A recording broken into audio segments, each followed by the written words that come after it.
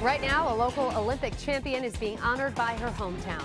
An event for women's U.S. hockey team member Michelle Picard is being held at Taunton's cool. Silver City Galleria. Oh, Picard is being introduced Uh, to supportive like supportive fans, signing cool. autographs and posing for pictures.